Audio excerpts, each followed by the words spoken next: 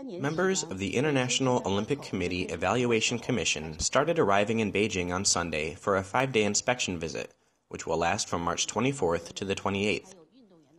The Beijing 2022 Olympic Winter Games Bid Committee said on Saturday that preparations to welcome the Commission had been completed.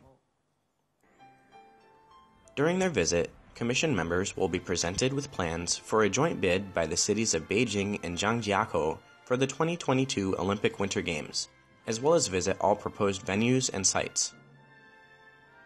The 19 member IOC Evaluation Commission is chaired by Alexander Zhukov, IOC member and president of the Russian Olympic Committee.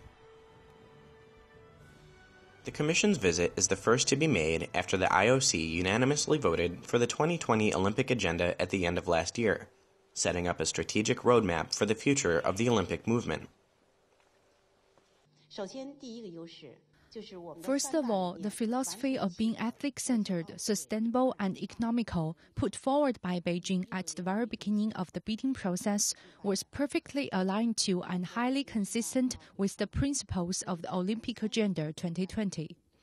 If we can host the Games, it will drive about 300 million people to join the winter sports and further promote the Winter Olympic spirit.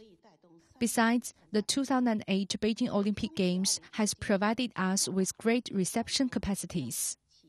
Wang said preparations for the Commission's visit were made in strict compliance with IOC requirements.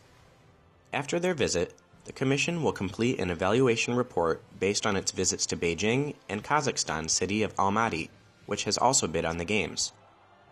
The report will be used as a basis for the 2022 Olympic and Paralympic Winter Games host city election, which will be held on July 31st in Kuala Lumpur.